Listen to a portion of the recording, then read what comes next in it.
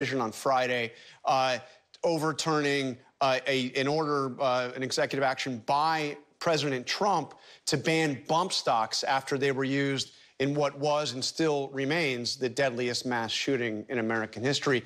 Uh, were you satisfied with that? Uh, any concerns about that decision?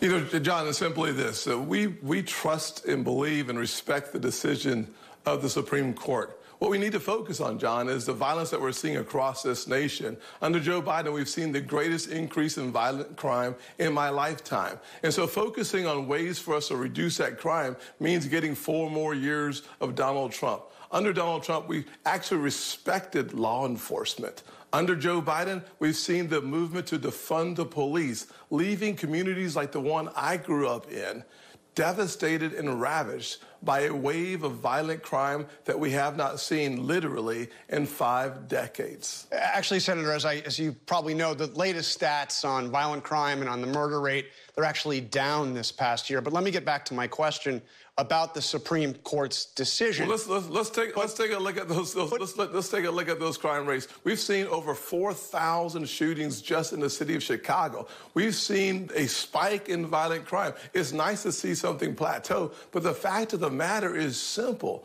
Under Joe Biden, neighborhoods like the ones I grew up in have okay. never been ravaged. But, but, but, but, but back like to the one that raised me are trapped in their houses from the time the sun goes down until it comes up again. So, to, to my question, though, on, on bump stocks, would you now favor a Congress acting to ban bump stocks. You had said after that shooting in Las Vegas uh, that if if the vote came up, it would sail through Congress. So, uh, are you uh, in favor of that ban right now?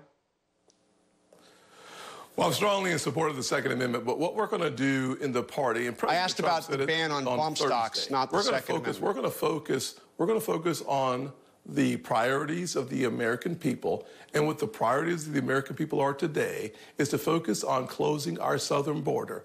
Under Donald Trump.